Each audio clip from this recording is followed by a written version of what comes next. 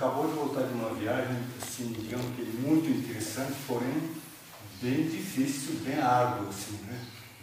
Porque a gente tinha comida, comida diferente, clima diferente, e no, logo assim, no início da viagem, assim, estavam 19, 19 participantes dessa, dessa excursão, né? E a maioria teve problema de, de, adaptação. Eu acho que foi, não é comida estragada, mas eu acho que foi a adaptação de, de comida, tempero, qualquer coisa assim. Sim, sim. Mudança climática também. Mudança, acho que juntou, né? Mudança climática com comida diferente. Porque você também foi? Você também comi também. Não? Aliás, assim, né? Eu, eu achava gostoso, eu, quer dizer, eu sentia gostoso daquelas comidas que a gente estava comendo. Né? E só que, então, acho que estava, como estavam 19, acho que quase mais da metade teve problema intestinal sério lá. Teve vômito, diarreia e tal, teve alguns que teve que ser atendido, teve que chamar médico para ser atendido. Outro, e maioria foi.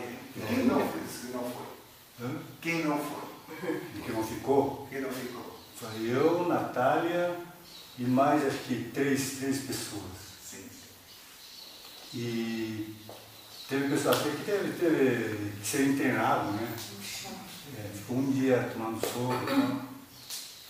E a gente foi assim, foi uma surpresa, assim, mas não, não nem tanto assim, mas eu e a Natália tava, a gente estava bem, não, não tivemos esse problema.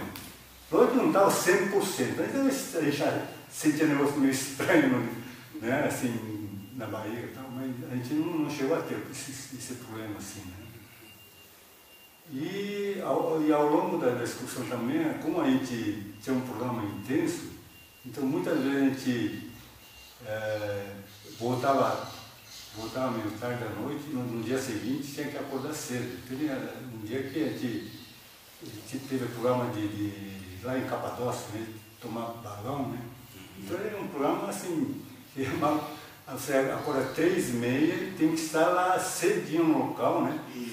Para você poder, poder assim, tomar. E ainda sem a certeza de tomar, porque depende da condição de vento tal, você pode até não tomar, mas nos, nos, nos casos deu certo e deu para voar.